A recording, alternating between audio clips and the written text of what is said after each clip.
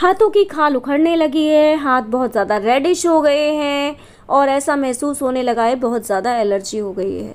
Hello friends Radhe Krishna welcome back to my channel Daily Hacks with Abhi Lakshmi friends आज इस video में हम बात करेंगे, यदि हाथों में एलर्जी हो गई है एलर्जी कई प्रकार से हो सकती है। मैंने पहले भी एक वीडियो आपके साथ शेयर की थी, जिसमें मैंने आपको ये बताया था कि यह किसी बीमारी का कारण भी हो सकता है। तो यहाँ हम बात करेंगे एलर्जी साबुन से भी हो सकती है, क्योंकि साबुन को हम बहुत ज़्यादा यूज़ कर सक, करते हैं।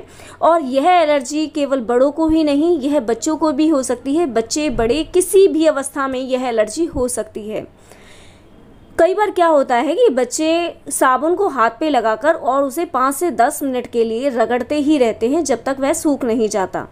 यह कोई भी परेशानी हो, वह एक दिन में नहीं होती। वह धीरे धीरे धीरे धीरे विकराल रूप धारण करती है और वह एलर्जी का रूप, एलर्जी के रूप में आ जाती है सामने।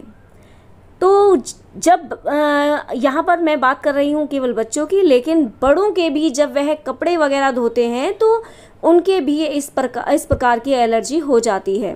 तो आपको सजेशन यह है कि आप साबुन का बहुत कम से कम यूज़ करें। यदि आप कपड़े धोने के लिए साबुन का यूज़ करते हैं तो उस अवस्था में आप हार्ड साबुन की बजाय लिक्विड शॉप का यूज़ करें। यह आपके हाथों को नुकसान नहीं पहुंचाएगा और इस तरह के साबुन का यूज़ करें, जिसमें केमिकल बहुत कम हो। यदि आप कुछ समय साबुन को छोड़कर और मैं एक बहुत ही नॉर्मल सी रेमेडी आपके साथ शेयर करूँगी, आप उसे यूज़ करें तो डेफिनेटली केवल 15 डेज़ में आपकी यह जो एलर्जी है, वह बिल्कुल ठीक हो जाएगी, काफ़ी रिलीफ होगा आपको। और यदि आराम मिले तो आप मुझे कमेंट करके ज़रूर बताएँ। तो इसके लिए जो रेमेडी है, वह यह है, जैतून का तेल।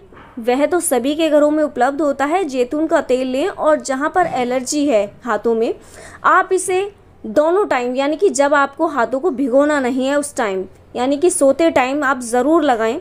और आप एक बार दिन में भी लगा सकते हैं और सोते टाइम तो आपको डेली लगाना ही लगाना है।